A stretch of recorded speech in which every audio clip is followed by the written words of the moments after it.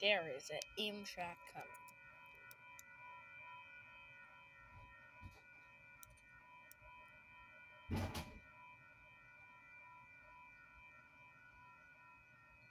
Lights are glitched.